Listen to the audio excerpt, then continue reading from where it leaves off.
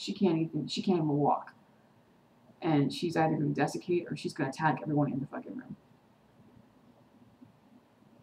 And he's like, why is she? Stefan doesn't seem to understand why she's having so much trouble.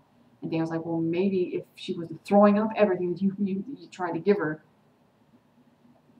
And he doesn't seem.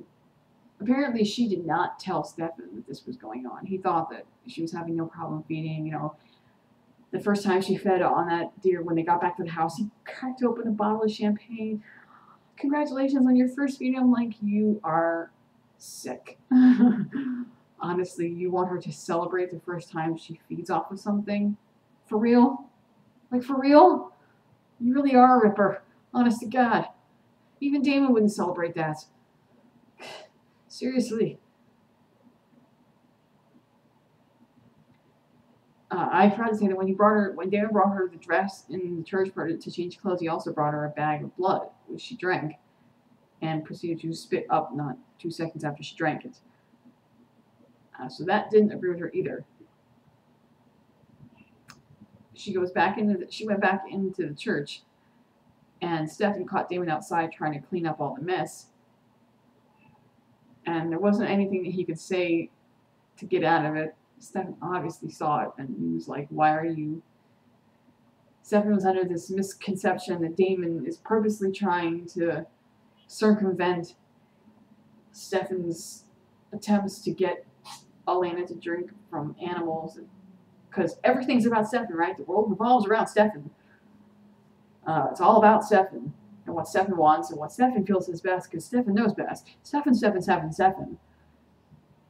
No, Stefan, it's not about you. No, Stefan, he's not trying to circumvent your bullshit. He was trying to get her to feed because if she doesn't, she's going to die. Or not die, but desiccate or go crazy because he generally gives a shit about what she needs, not what he not what he thinks is right, but what he knows she needs.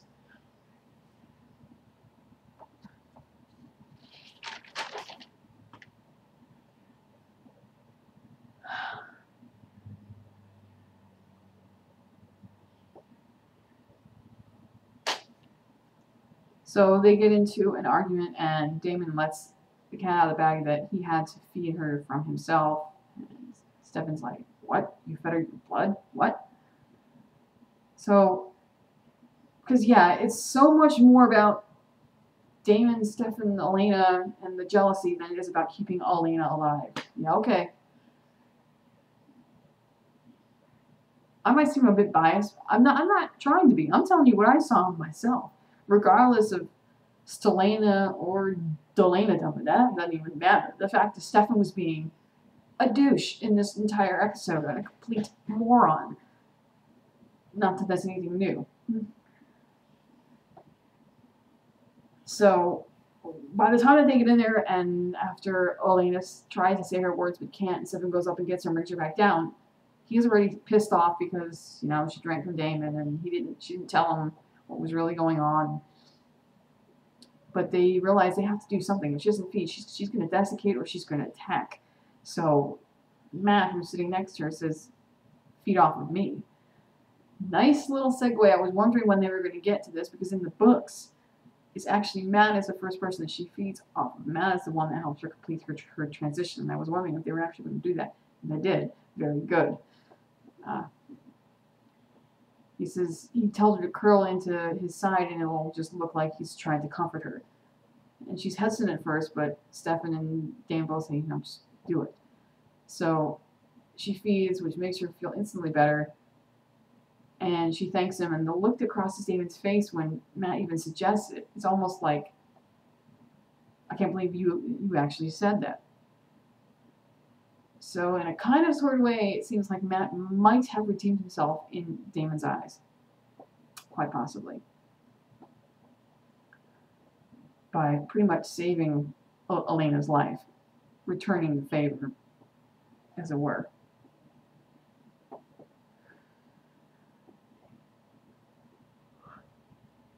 Oh, excuse me. So, while this is going on, Tyler's saying his words, and then Tyler gets shot by the hunter. Damon's like, screw this, I'm to go get him and I'm to kill him. So Damon Damon uh, disappears and goes after the hunter, and everybody else starts running out of the church, freaking out.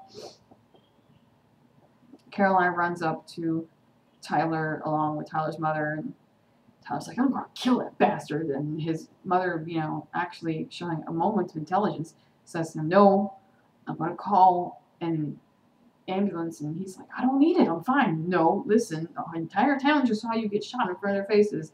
I've gotta do this. So she has to keep up appearances. Smart move. So while they're in there dealing with that, Damon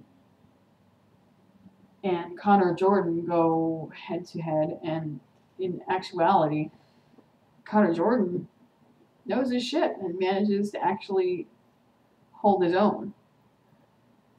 And manages to escape, not before shooting Damon, which is kind of weird because if he's using the same bullets he used on Tyler, wouldn't Damon just die instantly? And I don't know, maybe he was using di- different bullets, I'm not sure. But Stefan arrives, and then Mommy. Stefan uh, arrives and looks like he's about to help Damon up, and instead of helping up, he clocks him across the face. Mommy. Damon's like, Can I please have some food? hold on. Damon's like, what was that for? And Stefan's all, you know what that was for. Really? Stefan, are we are we gonna be childish? Are we gonna act like we're ten years old? For real. Cause this is so not the time to be jealous Stefan. Honest to God. It's really not that important. You can deal with it later. You have bigger problems. Much, much bigger fucking problems. So Hunter gets away, and next time they see him, he's in the bar nursing a drink. Well, actually, I think the scene was before. I'm not sure where it was in the continuity of the of the episode, but uh, note that Matt and Jeremy are talking, and Hunter's right there next to them nursing a drink. And uh, as they're about to walk away, Jeremy turns to him and says, "Nice, nice, uh, nice, nice, nice ink, man." And you look Nice down, and his his arm has got tattoos, but when Matt looks back, there's no tattoos there. So apparently, this tattoo or this arm sleeve is something that only Jeremy can see. I don't know if that's because it's a spiritual thing and it only exists in a spiritual realm or or what. But Hunter gets this look on his face like, hmm, weird. Mommy. Can I please eat? A minute. I'm so hungry. Aiden. All right, at the end of the episode, uh, they decide to have to light the paper lamps because that was what their intention was. After the memorial, they were going to light paper lamps uh, to remember the people that have died. So all of them, Stefan, Elena, Caroline, Tyler, Matt, even Damon, Jeremy, they're all there, and uh, Stefan decides that he wants them to light these uh, paper lamps to remember those that they've lost. Vicki, Jenna, Alaric, Elena's parents, Pastor Young, Tyler's dad, Caroline's father, you know, everyone everyone that they've lost. Bonnie's Bonnie actually did show up for this one. Bonnie's grandmother, you know. Damon doesn't want to have anything to do with this teenagery crap, so he walks away. But I think it's probably because it he was hurting, and I I know he doesn't act like a large loss affects him, but it does. A lot. He misses him painfully, painfully. Because Alaric is really the only friend that he had, the only person that he could talk to. Before this scene, I had to do the last scene in order, uh, because this the before scene to this is like, for me, was big.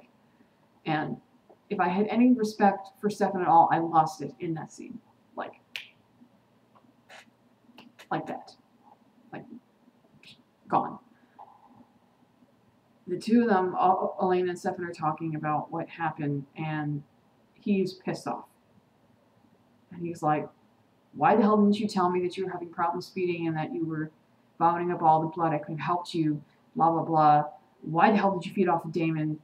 You, you have no idea how intimate that is for vampires, and you know that Damon probably got off on it, blah, blah, blah, blah. He's berating her like she's a child. Like, this whole thing is her fault, and she's a total fuck up. And I'm looking at him like, what the hell is wrong with you?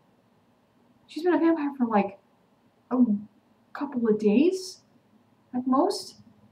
She's suffering. She's honest to God starving,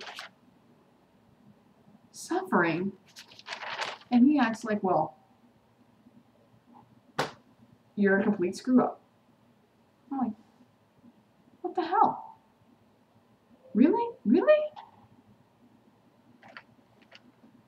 So, worse, worse yet, worse yet is that Elena, I'm like, where the hell did the Elena that I remember go? That Elena that Damon taught to shove a stake up his fucking gut. Where did that Elena go? Because now she's turned into this, oh, I'm so sorry, Stefan. I, I, I didn't mean to make you angry, Stefan. Please, please don't be angry with me. I, I didn't know what to do. I was so hungry. I, I'm sorry that I couldn't live up to your expectations. What the hell? What's wrong with you, woman? You're almost starting to sound like you're emotionally abused. This is horrible.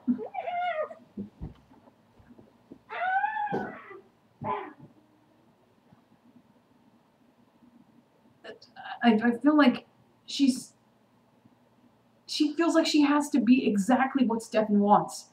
She's got to be this perfect vision of Stefan's vampire girlfriend and never make a mistake because, you know, she has to keep Stefan happy. Either that or she feels like keeping Stefan happy is the only way to keep this sham of a relationship that they have still going. Oh my god. This has got to end. I'm sorry. This is beyond both camps. This is Elena's well-being that we're talking about, and Stefan obviously doesn't care about that. If he did, he wouldn't be treating her like garbage. He would put aside this whole whatever with Damon and focus on the fact that she's having problems feeding and try to fix the issue, not berate her for what he thinks is a fuck up, which is not even her fault.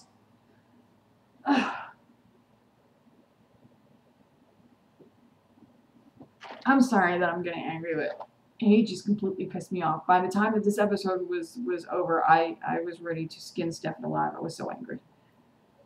Uh, the very last scene is probably one of my favorites. Um, while they're at the lamp lighting, Damon was sitting at Alaric's grave drinking a bottle of scotch and talking to him, and it was really, really nice.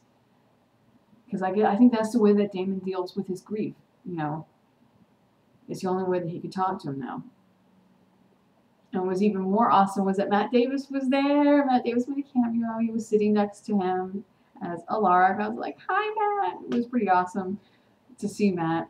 Uh, I hope that they do that a little bit more. I know he's currently filming another series for the, the WB, but I mean, it'd be nice um, if he could do some more. Because obviously now that Damon can see, I mean, Damon, now that Jerry can see spirits, you know, it makes sense that he might pop up every now and again.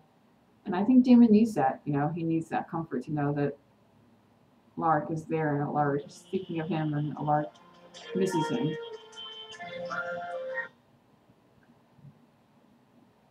So, uh, it was really nice to hear him talk about his feelings and about how, you know, he was mad that, oh, now you've left me to sit here and look after the children. I can't believe you did this to me, but I miss you anyway. And Damon and Alaric, because Damon walks away says, I miss you too. It was, it was pretty cool. Um, so that's it for season four, episode two. The preview was intentionally uh, vague. I can't really describe it because it was that vague. Um, I'll have to wait till the more drawn out, like the longer previews come out. But anyway, see you next week for episode three, and we'll see where it goes from there. Hopefully Stefan decides to be less of a douchebag.